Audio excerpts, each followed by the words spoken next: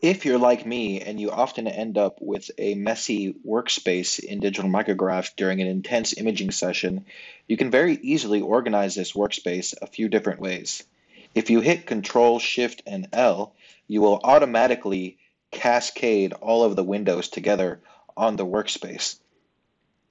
Something else you can do is access the auto arrange settings in the workspace by right clicking on the workspace tab and going to auto arrange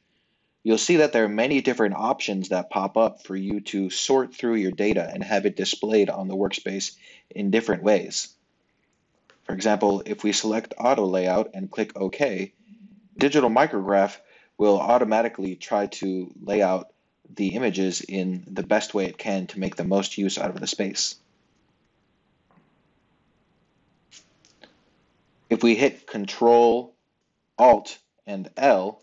it's a very quick way of having that same dialog pop up without having to go right click on the tab. And, for example, if we have a messy workspace again that comes out of whack, we can hit Control L to automatically lay out the workspace in the manner that we had decided from the menu.